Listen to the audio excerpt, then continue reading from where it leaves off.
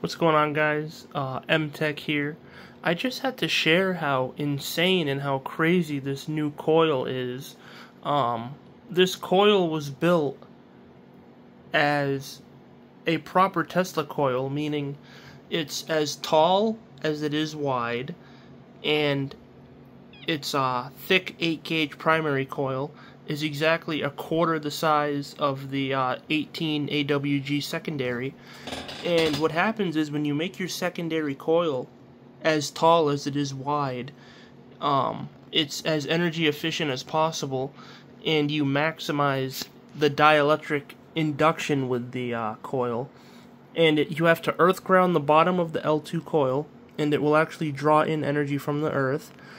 And this coil excels at putting all of its power into free space. The only loss in it is in the switching transistor. Um, you can make this MOSFET driven, which I'm going to do. I'm going to make this SIC MOSFET driven, which would be the most efficient, and the circuit actually gets simpler. So I'll show you what this thing can do. It's powered off my little 12 volt battery and uh, the 12 volts get stepped up from 0 to 600 volts DC from our little ZVS up here and that feeds the uh, Tesla coil. And I also installed a SiDAC in it so I kind of took everything we learned from the ringer to create a more powerful Tesla coil that should draw in excess energy through dielectric induction, not magnetic induction, this coil, through its very abrupt switching, should draw in excess energy from the Earth. And it actually does that. I'll show you that um, on video, so I'll turn it on. And this little coil just behaves phenomenally. I've never seen a little coil act this good. Uh, the input is um, 180 volts DC, and it would get even better if I, I replaced the circuitry with mo with a MOSFET, an SIC MOSFET, because for this coil's mode of operation, um, we're basically using a current controlled switch, being the NPN transistor, and the correct switch for this type of power would be a voltage controlled switch, being the MOSFET. So I'm going to upgrade to that soon. And notice how this is a current meter reading the, the coil's current consumption. Notice how if I touch the bulb to the coil, it gets very dim and goes out. That is the sign you want. It's and there's no sparks that come off the coil. When I touch this bulb to the coil, there is no sparks at all. That is a sign you have a true, real Tesla coil. And we're still consuming a little bit of power, just less power. So, what's occurring is the coil excels at putting all of its power through dielectric induction into free space. Um, this is not a lossy spark, sparky Tesla coil. Any Tesla coil that gives off sparks is an incorrect Tesla coil.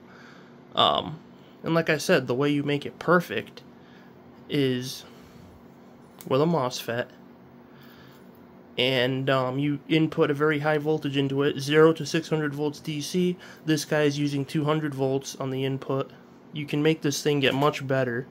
The ball is just the radiative dielectric antenna. And I'll show you the efficiency savings from the earth ground. And the earth ground connection actually sparks. So I'll remove the earth ground connection and we consume more power. And when I reconnect the earth, we save power. So that's showing that the system is actually drawing in power from the earth when you earth ground it and the range is just insane. So that's my update. I have to shut it off because the the switching transistor does build a little bit of heat.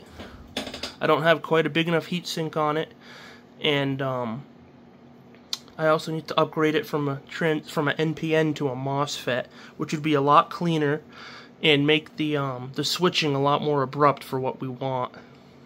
Um, good look at the circuit. It's basically just a modified Slayer exciter with a um, on the input to increase the abrupt switching. Frequency is about 10 megahertz on this guy. Um, and again, this is a real Tesla coil that outputs power through dielectric induction. Uh, there's no sparks when you get close to it. Turn it on again to show you.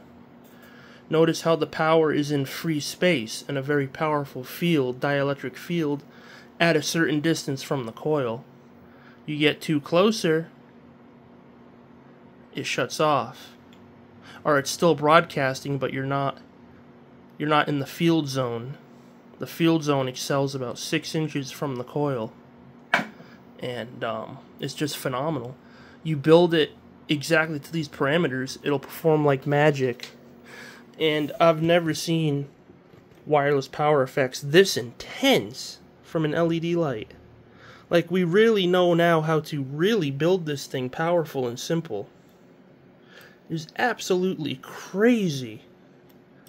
Um, that actually just burned out. Holy shit. Holy shit, that burned out. Damn. Well, that's just crazy. So anyway, that's the crazy Tesla coil. It's as tall as it is wide. Um, we know how to build it properly. I put a post on my YouTube channel how to build it properly. So yeah, feel free to like, comment, subscribe, join the Patreon, and support us in any way you can. And thank you.